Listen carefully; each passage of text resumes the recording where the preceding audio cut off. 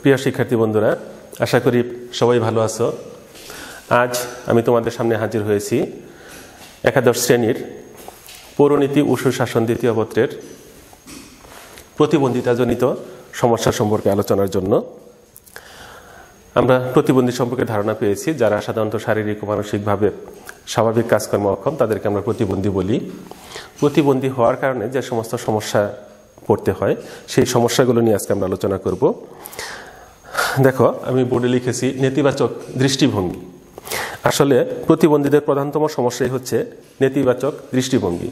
সকল মানুষ সকল মানুষ বলতে আসলে বেশিরভাগ মানুষ বেশিরভাগ মানুষই তাদের প্রতি একটা নেতিবাচক দৃষ্টিভঙ্গি পোষণ করে এবং তারা অন্যদের কাছ থেকে এই নেতিবাচক দৃষ্টিভঙ্গি পেয়ে থাকে।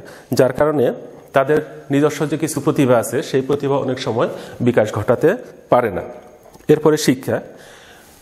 দেখো বিশেষ জনগোষ্ঠী প্রতিবন্ধিতা আমরা বলি বিশেষ জনগোষ্ঠী। এই বিশেষ জনগোষ্ঠীর জন্য কিন্তু বিশেষ কোনো পাঠ্য পুস্তকের ব্যবস্থা নেই। পাঠ্য শিক্ষারও তেমন ব্যবস্থা নেই। তারা তাদের এই অবস্থা নিয়ে অন্য সব সাধারণের মতো শিক্ষা প্রতিষ্ঠানে পড়ার কোনো সুযোগ পায় না। ফলে তারা এমনিতেও পিছানো, আরও পিছিয়ে পড়ে। সামাজিক সচেতনতার অভাব। আমরা যারা সুস্থ আছি, তারা আসলে সচেতনতার অভাবে এই প্রতিবন্ধীদেরকে আরও হেয় প্রতিপন্ন করি। এটা আমাদের অনেক স্বভাবের মতো। আসলে আমাদের এই বিষয়ে সচেতন হওয়া প্রয়োজন। অন্য সাধারণ জনগোষ্ঠী যারা, এরা যদি এদেরকে হেয়া প্রতিপন্ন না করতো, তাহলে তাদের যে বিকাশ, সেই বিকাশটা আরেকটু ভালো হতো। আমাদের উচিত তাদের এই বিষয়ে সচেতন থাকা। তারপরে দেখো আছে ভাতা।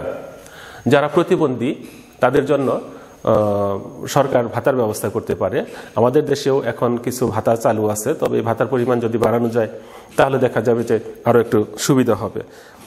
রাষ্ট্রীয় যে সুযোগ সুবিধা, রাষ্ট্রীয় সুযোগ সুবিধা বলতে আমরা ভাতার কথাই বলতে পারি।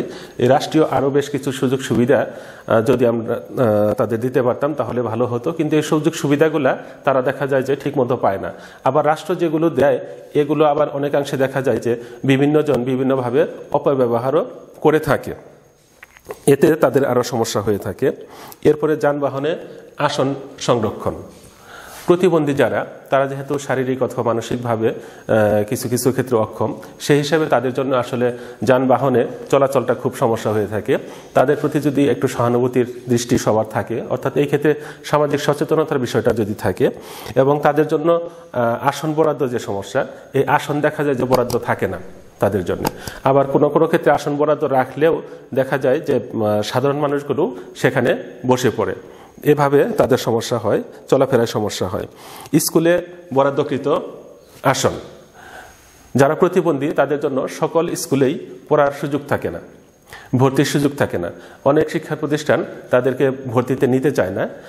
পরিবেশ নষ্ট হবে এই চিন্তা করে অথবা তাদের জন্য যে বিশেষ শিক্ষা পদ্ধতির প্রয়োজন, সেই শিক্ষা পদ্ধতির সুব্যবস্থা না থাকায় বা পরিবেশ না থাকায় তারা স্কুলেও শিক্ষার সুযোগ ওভাবে পায় না। আমরা জানি যে এখন অন্ধদের জন্য ব্রেল পদ্ধতি চালু হয়েছে, কিন্তু এটারও সীমাবদ্ধতা আছে।